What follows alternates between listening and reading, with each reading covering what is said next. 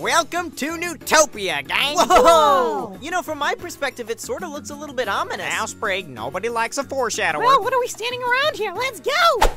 So, uh, how do we get in? Well, the most logical thing to do would probably be to knock. Everybody knows that knocking is for the weak. And scream at them. With pleasure. Yo, Newtopians! You should maybe come open the door? no, no, no, no, no. And you're going too softly. Polly, why don't you give it a shot? uh, okay. Open the door, mortals. You have ten seconds. God, how do you do that?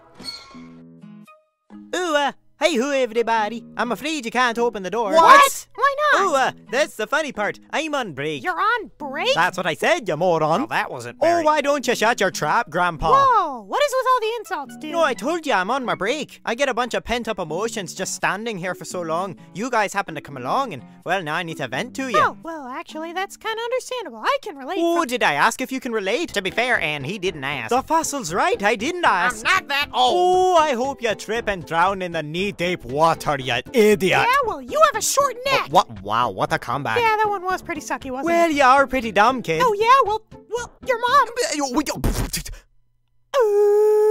Are you kidding me?